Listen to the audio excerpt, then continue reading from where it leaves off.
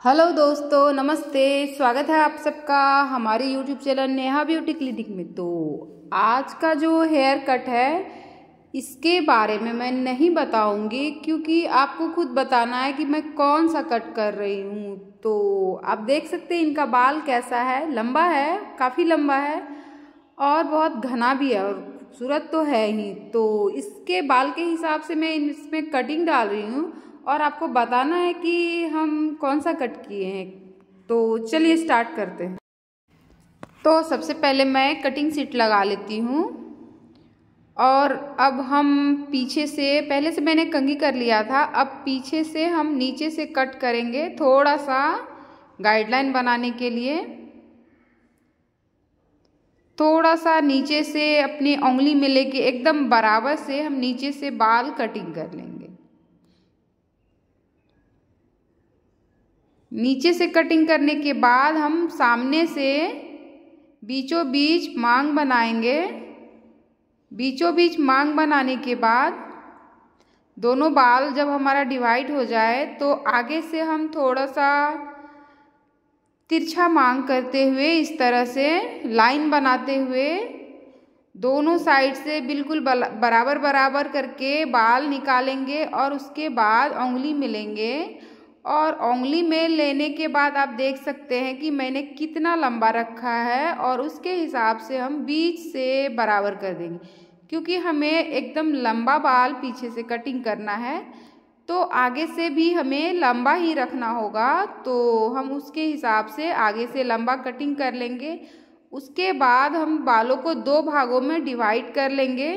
दोनों बाल, दोनों साइड का बाल बिल्कुल बराबर बराबर डिवाइड करेंगे इस तरह से टेलकॉम की हेल्प से। और एक साइड का बाल को हम इस तरह से सेक्शन क्लिप से समेट लेंगे। उसके बाद दूसरे साइड का बाल को अच्छे से कंघी करेंगे। और उसके बाद बालों में हमने स्प्रे किया है और अब हम आगे से बाल निकाल रहे हैं। इस तरह से आप देख सकते हैं कि मैंने थोड़ा सा तिरछा करके बाल निकाला है। और बाल जब तिरछा करके निकालेंगे तो अच्छे से कंघी करके आगे की तरफ़ लेके आएँगे। और आगे की तरफ़ लेके आएँगे तो उंगली भी इस तरह से देखिए कि मैंने किस तरह से तिरछा किया है। इस तरह से तिरछा करके हम जो गाइडलाइन हमने बनाया था, वहाँ से कटिंग कर लेंगे। अभी हम बिल्कुल तिरछा तिरछा कटिंग कर रहे हैं। सीधा नहीं कर रहे हैं, क्योंकि हमें बाल पीछे से लंबा रखना है।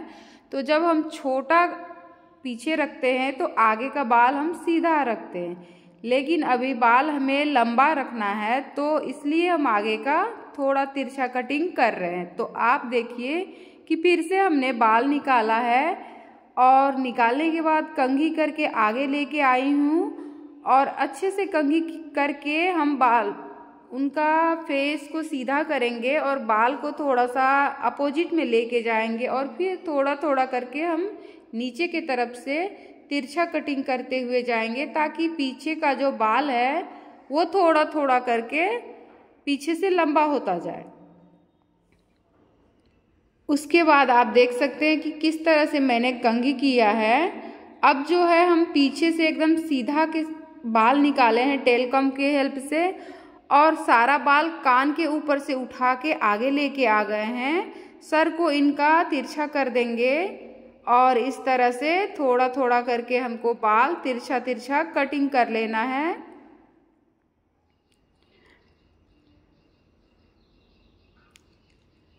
अब हमने सारा बाल ले लिया है, पूरा का पूरा बाल लिया है और गाइडलाइन बना के अब जो एक्स्ट्रा आ रहा है, उसको हम इस तरह से तिरछा करके कटिंग कर लेंगे।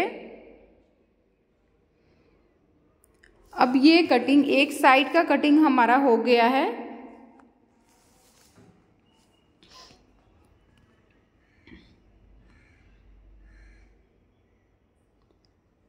अब एक साइड का जब कटिंग हो गया है तो इधर हम सेक्शन क्लिप के हेल्प से फिर से बाल को मोड़ लेंगे और दूसरी तरफ़ का बाल को हम निकाल लेंगे। अब दूसरी तरफ़ का बाल को भी हम सेम तरीके से कटिंग करेंगे। तिरछा कटिंग करना है इस तरह से। आप देख सकते हैं किस हिसाब से मैं तिरछा कर रही हूँ। आगे का बाल छोटा और पीछे का बाल थोड़ा थोड़ा लंबा होते जा रहा है। अब थोड़ा थोड़ा बाल करके हमको निकालना है, इसी हिसाब से आप देख सकते हैं किस हिसाब से मैंने मांग थोड़ा टेढ़ा रखा है और बाल को अच्छे से कंगी करके अपने हाथे में हाथों में ले रही हूँ और उनका सर को अपोजिट में थोड़ा सा घुमा रही हूँ ताकि हमारा पीछे का बाल जो है अच्छे से लंबा हो जाए और गाइडलाइन के हिसाब से हम काट लें। इस तरह से उंगली में लेते जाएँ और थोड़ा थोड़ा तिरछा करके हम कट करते जाएँगे।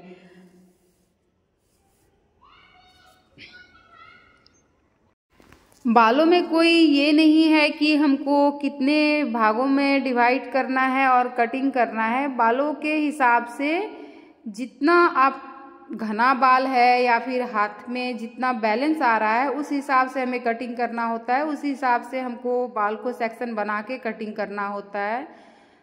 तो आप थोड़ा थोड़ा करके बाल लेते जाए और थोड़ा थोड़ा करके बाल लेने के बाद उसको तिरछा तिरछा करके थोड़ा थोड़ा करके कटिंग करते जाएँ। तो अब देख सकते हैं, मैंने सारा बाल ले लिया है और सारा बाल लेने के बाद कान के ऊपर से हम बाल को निकाल के, सारा बाल को निकाल के आगे की तरफ़ आ जाएँगे इस तरह से और फिर से हमें उसी तरह से तिरछा करके कटिंग कर लेना है।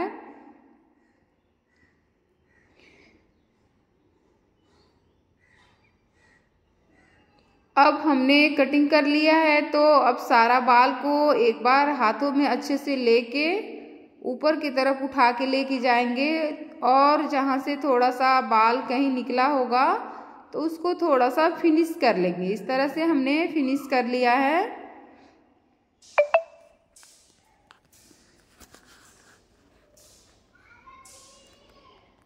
अब कटिंग हमारा हो गया है। अब हम क्या करेंगे? अब बालों को हम इनका मांग को सीधा करेंगे, जहाँ से ये करती हैं, उस तरह से हम सीधा कर लेंगे। और सीधा करने के बाद हमको आगे से थोड़ा सा और कट करना है, क्योंकि हमें पीछा, पीछे बाल लंबा रखना था तो पहले जो हमने गाइडलाइन बनाया तो उसको हम लंबा करके कटिंग किए थे। तो आगे का बाल इस तरह से हम निकालेंगे और थोड़ा सा मिला के हल्का सा छोटा कर लेंगे। और वो भी हमको तिरछा करके ही कटिंग करना है।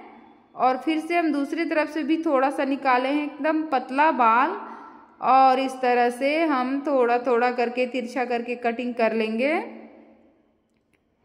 तो अब तो बाल कटिंग लगभग कंप्लीट हो गया है। तो अब हमको पीछे का बाल को मिलाना है। तो पीछे के बाल को हम सारा का सारा बाल को पीछे लेके आ गए हैं। और पीछे लाने के बाद हमको अच्छे से बाल को कंघी करके, अब जो थोड़ा थोड़ा हमारा कटिंग है, उसको हम मिला लेंगे। देखिए इस तरह से कैसे भी सेप में बाल आ गया है।